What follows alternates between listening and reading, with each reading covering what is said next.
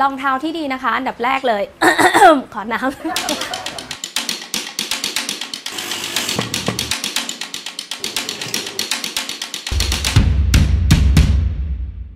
คือการใส่รองเท้าเนี่ย ถ้าเราใส่แล้ววันนั้นใส่ออกจากบ้านแล้วเจ็บปุ๊บวันนั้นเราจะไม่มีความสุขทั้งวันเลยนะเพราะรู้สึกแล้วใส่แล้วมันสบายเราก็อยากจะใส่เดินไปในทุกๆทที่อะไรอย่างเงี้ยค่ะ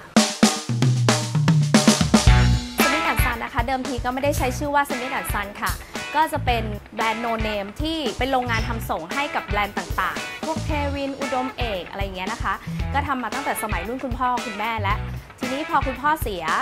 กิจการเนี่ยก็ตอนแรกก็คิดว่าจะเลิกไป เพราะว่าไม่มีคนสานต่อ แต่ทีนี้พี่ชายก็ยังอยากจะทำตรงนี้อยู่ เพราะว่าจะมีช่างที่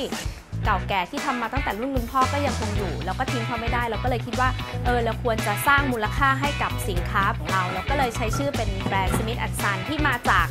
สมิธนี่ก็ภาษาอังกฤษก็น่าจะแปลว่าช่าง son ก็คือลูกๆ ลูกชายก็คือหัวหอกก็คือคุณพี่พี่ชาย ก็เลยใช้คำว่า Smith and Son นะคะด้วยความที่เราผูกพันกับรองเท้ามาตั้งแต่เด็กนะคะ เกิดมาเราก็เห็นแล้วในสิ่งที่คุณพ่อคุณแม่ทำแล้วก็ช่างที่อยู่ประจำเนี่ยทำแต่เราก็ไม่ได้เราก็มองข้ามไป แล้วก็คิดว่าก็โอเค ก็แค่รองเท้าคู่หนึ่งแต่พอเราได้มา ทำเป็นบรายซิมิสันซันแล้วเราได้มาลงลึกได้คุยกับลูกค้า ได้คุยในเรื่องรายละเอียดต่างๆเนี่ยเราก็รู้เลยว่ารองเท้าของเราเนี่ยมันมีอะไรมากกว่าที่คิด มันมีอะไรพิเศษมากกว่ารองเท้าทั่วไปที่ทำจากเครื่องจักร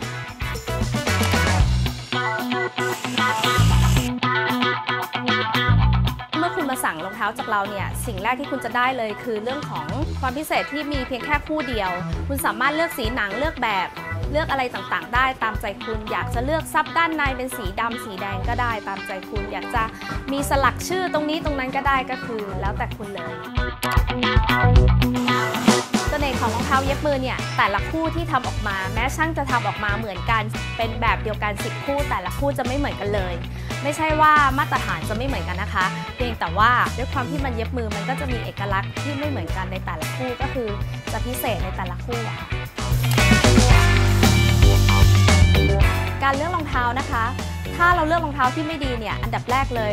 พอออกจากบ้านปั๊บเราจะรู้สึกได้เลยว่าวันนั้นต้องเป็นวันที่ไม่ดีของเราแน่ๆหนึ่งคือใส่ปุ๊บจะรู้สึกเจ็บกัดครับ เราจะรู้สึกไม่อยากจะเดินไปไหน วันนั้นเราอยากจะนั่งแล้วก็ถอดอยู่อย่างนั้นนะทั้งวัน แต่ถ้าเป็นรองเท้าที่ดีนะคะ เราก็อยากจะใส่อยากจะเดินออกไปทำกิจกรรมนู่นนี่ได้โดยที่ไม่ได้กังวลถึงเรื่องเท้าของเราเลยว่า วันนั้นแบบเดินไกลหรือเดินเหนื่อยแค่ไหนรองเท้าที่ดีก็จะพาเราไป เจอสิ่งใหม่ๆ เจออะไรที่ดีค่ะ